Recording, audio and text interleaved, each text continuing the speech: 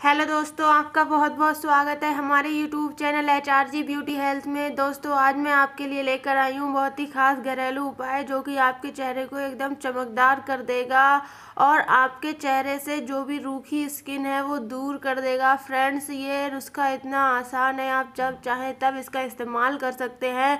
और फ्रेंड्स ये ना कि आपके चेहरे के लिए ही वरदान है, बल्कि ये आपके होठों के लिए भी बहुत ही अच्छा है। अगर आपके होठ फट गए हैं, उन पर पपड़ी जम गई है तो फ्रेंड्स आप उस पर भी इसके द्वारा स्क्रब करके अपने होठों को गुलाबी बना सकते हैं, अपने चेहरे को चमका सकते हैं। तो दोस्तों, ये वीडियो आगे बढ़ाने से पहले आपसे मेरी एक गुजारिश है, अगर आपने हमारे चैनल को अभी तक सब्सक्राइब नहीं किया है तो प्लीज़ इसे सब्सक्राइब करें और साइड में दिख रहा रेड वाला आइकन को प्रेस करें, जिससे आप हमारी वीडियो देख सकें सबसे पहले। तो फ्रेंड्स, इस वीडियो में मैं आपको सब कुछ बताऊँगी कि इसका कब कैसे इस्तेमाल करना है, कब तक इस्तेमाल करना है।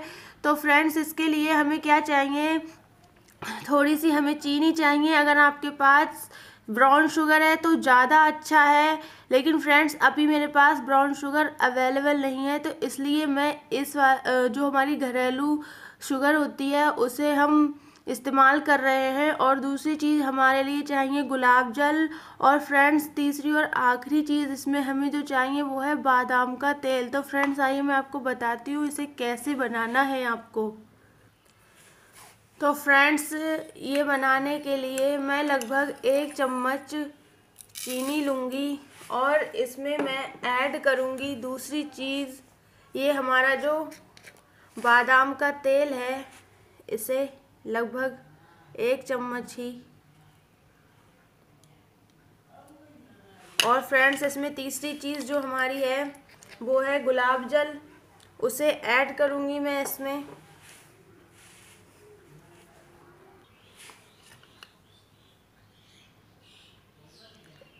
लगभग इतना। और फ्रेंड्स इन तीनों चीज़ों को मैं अच्छे से मिक्स कर लूँगी। तो देखिए फ्रेंड्स ये हमारी रेमेडी बनकर तैयार हो गई है। अब मैं इसे अपने हैंड पर अप्लाई करके आपको दिखाऊँगी। इसी तरीके से आपको अपने फेस पर इस्तेमाल करना है, अपने होठों पर इस्तेमाल करना है, जहाँ पर भी आपकी स्किन पर रूखी, त्वचा तो या रूखापन है या कोई भी जगह फटी हुई है। तो फ्रेंड्स आइए मैं आपको बताती हूँ इसे अप्लाई करके।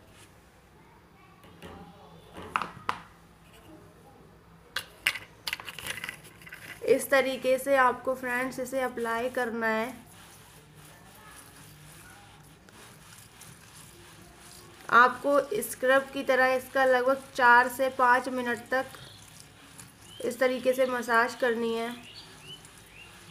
क्योंकि फ्रेंड्स बादाम का तेल आपके जो स्किन है, उसका टोन बढ़ाने में बहुत ही हेल्प करता है और जो गुलाब जल होता है, वो एकदम क्लींजर की तरह वर्क करता है और चीनी आपके फटी हुई स्किन रूखेपन डेड स्किन को दूर करता है। तो फ्रेंड्स इस तरीके से आपको अपने फेस पर या फिर अपने होठों पर इसे अप्लाई करना है। और उसके बाद इसे वॉश कर लेना है। फ्रेंड्स वॉश करने के बाद आपको लास्ट स्टेप ज़रूर फॉलो करना है। आपको अपना फेस वॉश करने के बाद मॉइस्चराइज ज़रूर करना है। आप मॉइस्चराइज करने के लिए एलोवेरा जेल या किसी भी मॉइस्चराइज क्रीम का इस्तेमाल कर सकते हैं। तो फ्रेंड्स, हमें कमेंट करके बताइए कि आपको हमारी ये वीडियो कैसी लगी है। और फ्रेंड्स, इसे आप रोज़ इस्तेमाल ना करें। इसे कम से कम पंद्रह दिन में दो या तीन बार इस्तेमाल करें। और फ्रेंड्स, वीडियो को लाइक, शेयर कर दें। चैनल को सब्सक्राइब करना ना भूलें। धन्यवाद।